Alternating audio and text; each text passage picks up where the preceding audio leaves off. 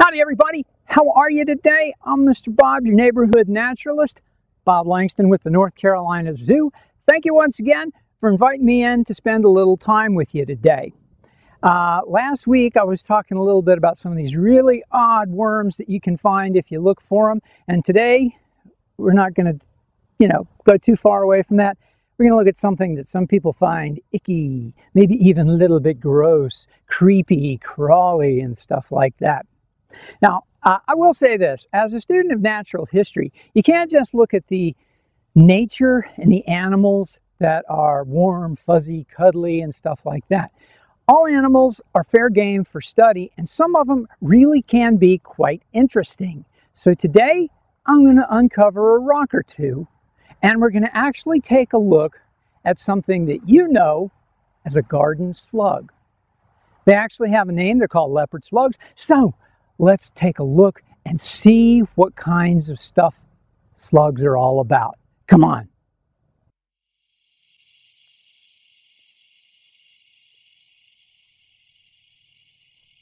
This kind of green and black glob right here probably doesn't look like an awful lot.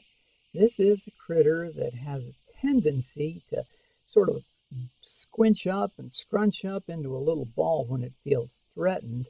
Give this one a minute or two because I just picked this one up over here in the yard. As you watch, you'll see him kind of come out of this glob and unwind a little bit and stretch out. And there we go. This uh, is uh, what's called the leopard slug, sometimes just called a garden slug. Uh, they're really common. They're originally from uh, Europe, um, pretty much found all over the world now. They got exported, their eggs and the juveniles, in uh, various potted plants. As uh, plant trade went around, they can be hitchhikers and other things as well. So, yeah, here we have yet another alien species. They um, live around here and uh, eat a lot of plant matter. They're originally detritivores. I'll tell you what that means in a little bit. Their scientific name is Limax maximus. Sort of sounds like it ought to be a great big green popsicle, but nope, that's what they're called, and that's the leopard slug. Slugs are a little bit misunderstood by some folks. They aren't bugs and they aren't worms. They're actually gastropod mollusks. Gastropod means uh, stomach, foot, so they crawl around on their belly. Their uh, close relatives on the planet are things like snails and conchs. There are gastropod mollusks that can be found in the ocean, uh, things like uh, big horse conchs and things like that. There are gastropod mollusks that can be found in ponds, and there are also terrestrial ones. These guys have lungs, and I'll show you where they breathe in a moment. But the uh, ones in the ocean have to use siphons to draw water in and over their gills. These guys don't have gills.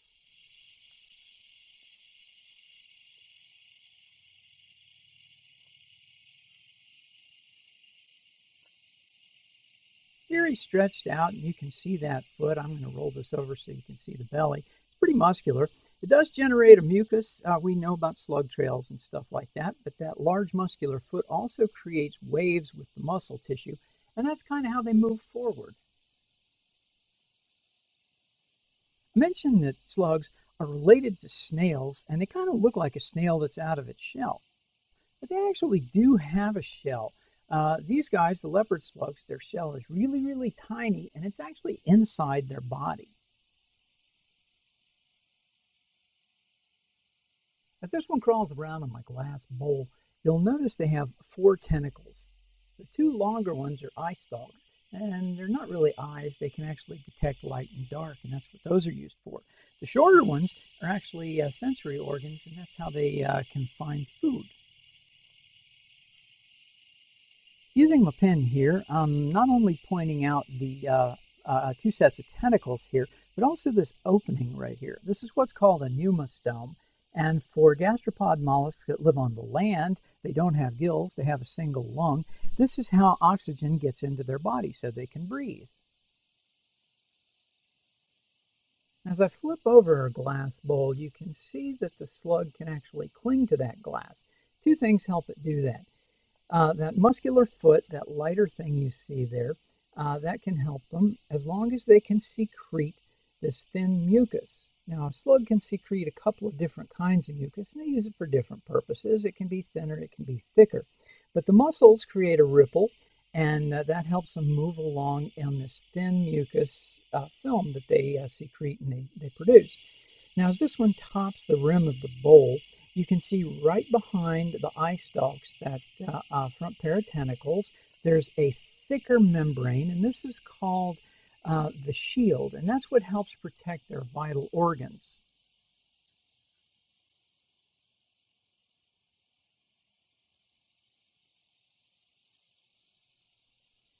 Leopard slugs like this one aren't particularly fast. They can use that foot and their uh, mucus trails to move at a blistering pace of about six inches every minute. Not super fast, but they, they, they get along.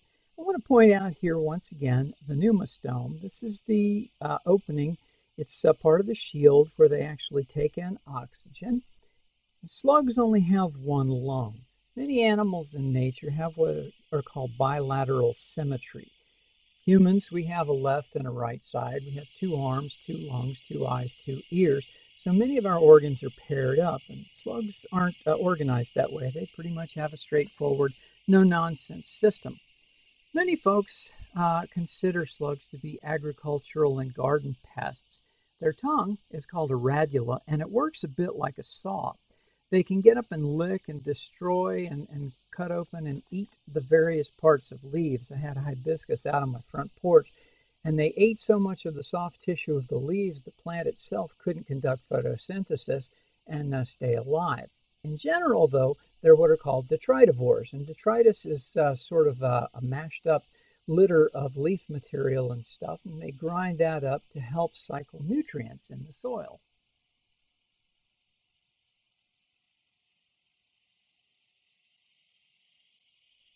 Once again, we can see our leopard slug here crawling along on the glass bowl. It's using that muscular foot and the thinner uh, mucus that it sort of produces to stick to the bowl.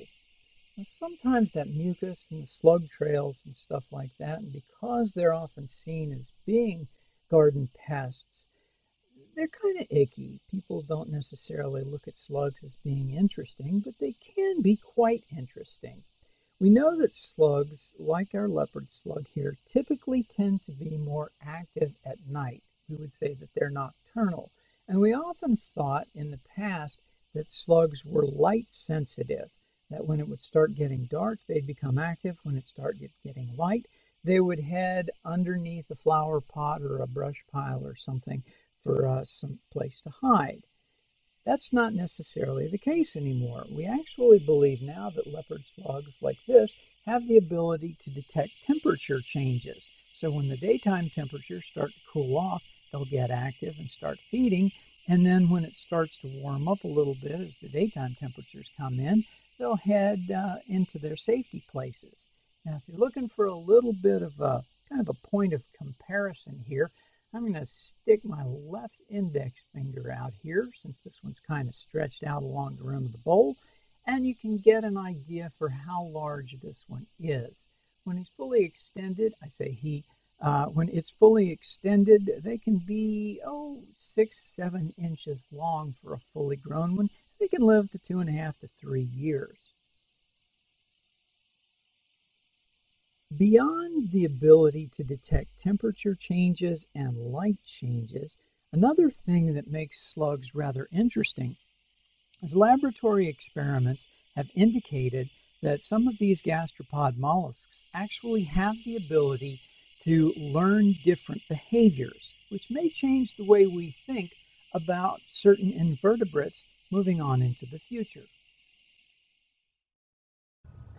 Well, I can't necessarily promise you that next week we'll be back with Bob's performing slug circus or anything like that, but these are some really interesting creatures from having a tongue that works like a saw that can pick out leaves and break up leaf litter to actually taking the leaf detritus, the litter, and turning it into nutrients that can be used by other plants. Or if it's that wonderful, interesting single lung breathing apparatus, that's it. But imagine that an invertebrate, an animal that doesn't have a backbone, being able to be trained to do certain behaviors. Slugs are actually pretty cool. And by the way, if you think they're icky and yucky, take a look at the University of, Sa of California in Santa Cruz. Their mascot is the banana slug, a big yellow slug found on the west coast of the United States. Slugs can be cool. Carry it with you, friends. Again, about the North Carolina Zoo, we have been relaxing our cap on the number of visitors that are coming into the park pretty much every week now since the middle of summer. And uh, we've uh, uh, we still do ask that people buy their tickets in advance and make a reservation time to come into the park. But we welcome you to come visit us. So please go online at www.nczoo.org. You can find out how to buy your tickets. You can find out how to reserve your entry time. You can find out how many people can come in on any given day. Weekends are starting to cool off a little bit. Cooler temperatures in the fall are absolutely wonderful times to come and visit with us at the North Carolina Zoo.